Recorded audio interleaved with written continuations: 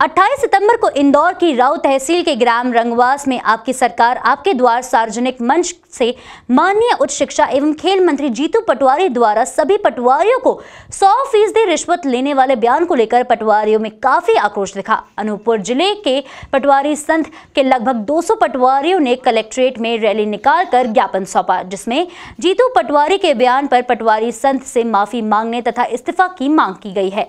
पटवारी संघ का कहना है कि जीतू पटवारी द्वारा दिए गए बयान से निश्चित रूप से प्रदेश के समस्त पटवारियों के मान सम्मान, स्वाभिमान और अस्मिता पर घोर कुठाराघान है। एक जिम्मेदार पद पर आसीन एक मंत्री द्वारा सार्वजनिक मंच इस प्रकार के बयान से निश्चित रूप से पूरे प्रदेश का पटवारी स्वयं को अपमानित महसूस कर रहा है। ग्रामीण क्षेत्रों में पटवारी शासन की रीढ़ की हड्डी की तरह सभी विभागों के कार्यों में सहयोग एवं शासन प्रशासन के सभी आदेशों के पालन में पूरे सप्ताह 24 घंटे कार्य करता है।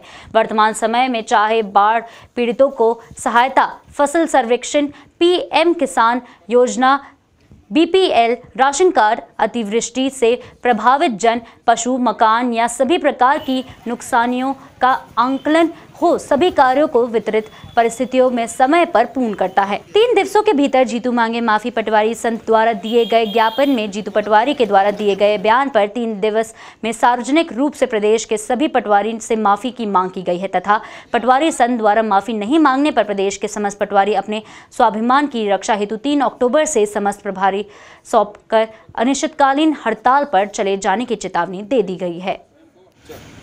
एक जिम्मेदार पद पर आसीन एक मंत्री द्वारा सार्वजनिक मंच पर इस प्रकार के बयान से निश्चित रूप से पूरे प्रदेश के पटवारी स्वयं को मध्य प्रदेश पटवारी संघ जिंदाबाद जिंदाबाद मध्य प्रदेश पटवारी संघ जिंदाबाद जिंदाबाद हर ज़ोर जुल्म के टक्कर में संघर्ष अ, मध्य प्रदेश सरकार के कैबिनेट मंत्री आदरणीय श्री जीतू पटवारी जी द्वारा राऊ में आपकी सरकार, आपके द्वार कार्यक्रम में 100 प्रतिशत पटवारियों को भ्रष्ट कहा। इसी के विरोध में हम लोगों ने ज्ञापन देने का निर्णय लिया है।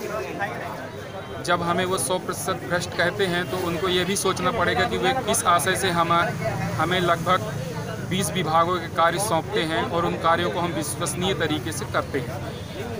इनको इस संबंध में उनको जवाब देना चाहिए। हमें वो किस प्रकार से हमारे ऊपर भरोसा करते हैं और एक मंत्री को कर्मचारी के लिए ऐसे शब्दों का इस्तेमाल नहीं करना चाहिए क्योंकि हम उनकी रीढ़ की हड्डी हैं।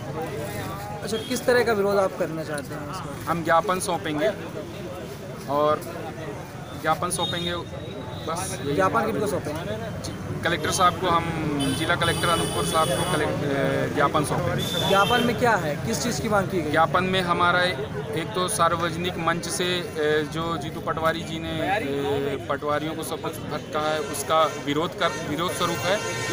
जो परसों दिन मध्य प्रदेश सरकार के शिक्षा मंत्री जीतू पटवारी जी ने हम पटवारियों को 100 प्रतिशत रिश्वतखोर कहने के उपलक्ष्य में, उसके विरोध में हम लोगों ने ये धरना प्रदर्शन चालू किया है। ये पूरे मध्य प्रदेश पटवारी संघ के आह्वान पर चल रहा है। उनके लिए ये हम कह रहे हैं कि जब तक वो माफ़ी नहीं मांगेंगे, जब तक वो इस्तीफा नहीं देंगे, तब तक हम लोग ऐसे हड़ताल करते रहेंगे। अच्छा।